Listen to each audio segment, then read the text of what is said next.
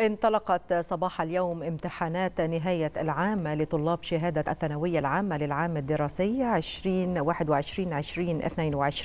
بلغ إجمالي عدد الطلاب المتقدمين لامتحانات هذا العام يقرب من 7992 طالب وطالبة.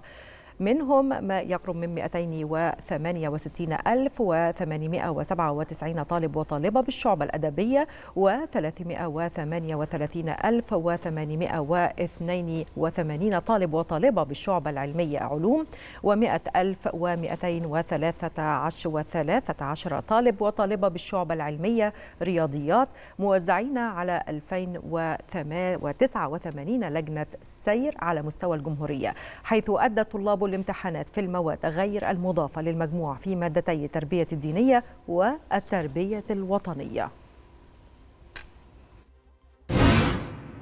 وسط إجراءات مشددة لتوفير أعلى درجات الحماية والوقاية انطلق مراسم امتحانات نهاية العام لطلاب شهادة الثانوية العامة 2022 بالمواد غير المضافة للمجموع داخل 2089 لجنة على مستوى الجمهورية. وزارة التربية والتعليم بدورها أعلنت أن عدد الطلاب المتقدمين لامتحانات الثانوية العامة هذا العام وصل إلى 707992 طالبا وطالبة في الشعبتين العلمية والأدبية مشددة على ضرورة الالتزام بالتعليمات الخاصة بضوابط الامتحانات والعمل على التأكد من دخول الطلاب إلى اللجان بدون أي أجهزة إلكترونية للتصدي لأي محاولات للغش. محافظات الوجه البحري شهدت خلال اليوم الأول عدة جولات تفقدية لعدد من المحافظين والمسؤولين للجان الامتحانات للتأكد من تطبيق كافة الإجراءات بما يضمن انتظام سير الامتحانات